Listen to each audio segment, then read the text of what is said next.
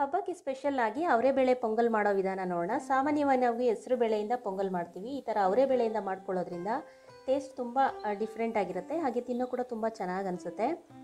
ಸಾಮಾನ್ಯವಾಗಿ ಪೊಂಗಲ್ ಮಾಡಿದಾಗ ಬೇಗನೆ ಮಾಡಿದಾಗ ಇರೋಷ್ಟು ತೆಳುವಾಗಿ ಇರೋದಿಲ್ಲ. ಬೇಗ ಗಟ್ಟಿಯಾಗ್ಬಿಡುತ್ತೆ ಅಂತ ಹೇಳ್ತಾರೆ.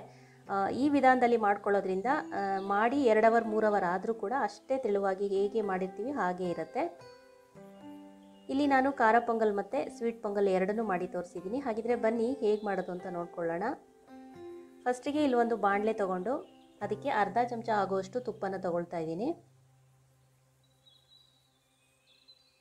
ತುಪ್ಪ ಚೆನ್ನಾಗಿ ಬಿಸಿ ಮೇಲೆ ಇದಕ್ಕೆ ಅವರೆಬೇಳೆನ ಸೇರಿಸ್ಕೊಳ್ಬೇಕು. ಅರ್ಧ ಕಪ್ ಆಗುವಷ್ಟೇ ಅವರೆಬೇಳೆ ತೊಗೊಂಡಿದ್ದೀನಿ. ಅರ್ಧ ಕಪ್ ಹೆಸರುಬೇಳೆಗೆ ಅರ್ಧ ಕಪ್ಪಷ್ಟು ಅವರೆಬೇಳೆ ತೊಗೊಳ್ತಾ ಇದ್ದೀನಿ ನಾನಿಲ್ಲಿ.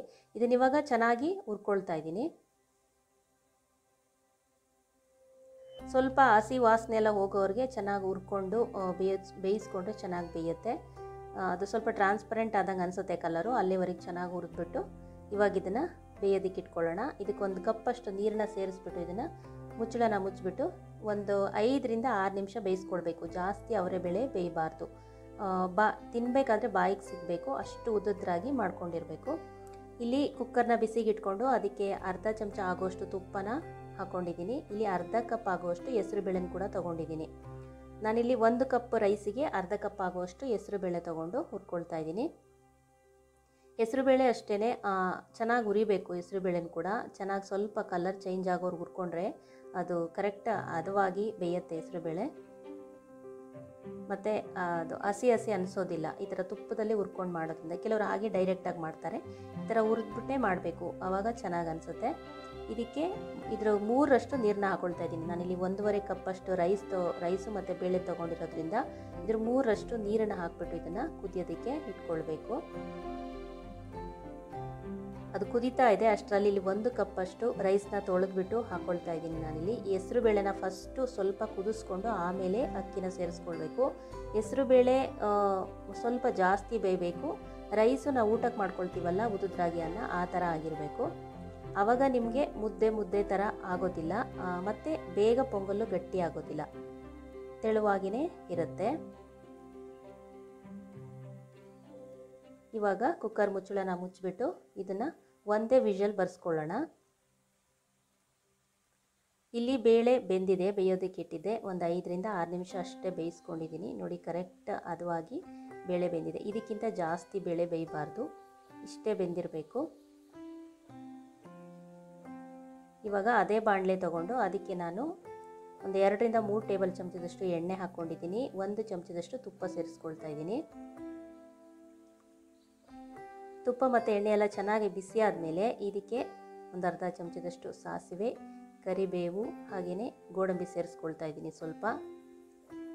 ಮತ್ತು ಹಸಿಮೆಣಸಿನ್ಕಾಯಿ ಒಂದು ಐದರಿಂದ ಆರು ಹಸಿಮೆಣಸಿನ್ಕಾಯಿನೂ ಕಟ್ ಮಾಡಿ ಹಾಕ್ಕೊಂಡಿದ್ದೀನಿ ಸ್ವಲ್ ಸ್ವಲ್ಪ ಶುಂಠಿನ ತುರಿದ್ಬಿಟ್ಟು ಹಾಕ್ಕೊಳ್ತಾ ಇದ್ದೀನಿ ಶುಂಠಿ ಹಾಕ್ಕೊಳ್ತಾ ಇರೋದು ಇಲ್ಲಿ ಅವರೆಬೇಳೆ ಹಾಕಿರೋದ್ರಿಂದ ಹಾಕ್ಕೊಂಡಿದ್ದೀನಿ ಮತ್ತು ಹಸಿಮೆಣಸಿನ್ಕಾಯಿ ಜಾಸ್ತಿ ಹಾಕ್ಕೊಳ್ಬೇಕು ಸ್ವಲ್ಪ ಖಾರ ಜಾಸ್ತಿ ಹಾಕ್ಕೊಳ್ಬೇಕು ಬೇಳೆಗಳು ಜಾಸ್ತಿ ಇರೋದ್ರಿಂದ.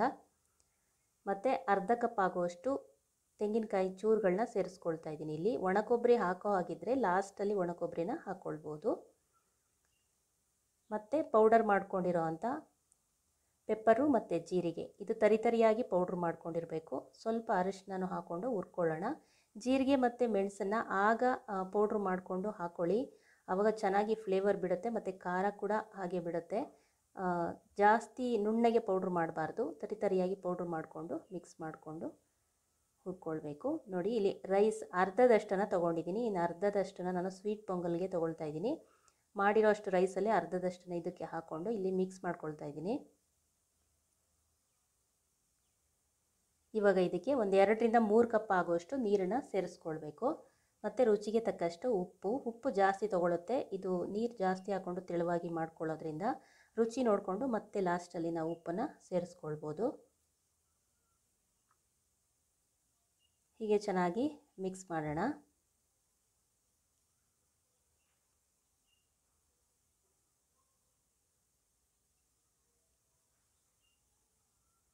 ಇದು ಕುದಿ ಬಂದ ಮೇಲೆ ಕೊನೆಯಲ್ಲಿ ಅವರೆಬೇಳೆನ ಇದಕ್ಕೆ ಸೇರಿಸ್ಕೊಳ್ಬೇಕು.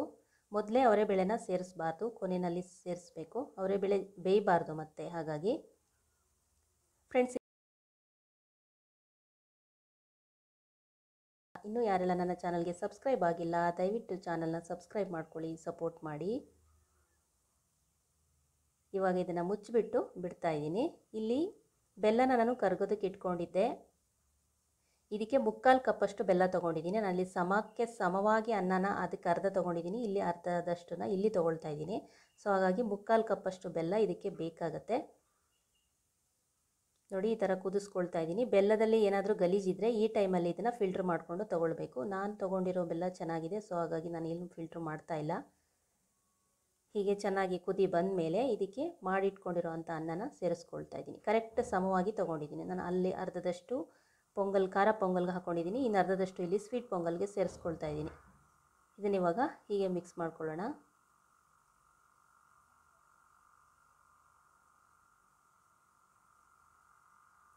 ಫ್ರೆಂಡ್ಸ್ ಯಾರೆಲ್ಲ ನನ್ನ ಚಾನಲ್ನ ನೋಡ್ತಾ ಇದ್ದೀರಾ, ದಯವಿಟ್ಟು ಸಬ್ಸ್ಕ್ರೈಬ್ ಮಾಡ್ಕೊಳ್ಳಿ. ನನ್ನ ವೀಡಿಯೋಸ್ ನೋಡ್ತಾ ಇದ್ದೀರಾ ಬಟ್ ಯಾರೂ ಸಬ್ಸ್ಕ್ರೈಬ್ ಮಾಡ್ತಾ ಇಲ್ಲ. ಆಗಿನ ಲೈಕ್ ಕೂಡ ಮಾಡ್ತಾ ಇಲ್ಲ.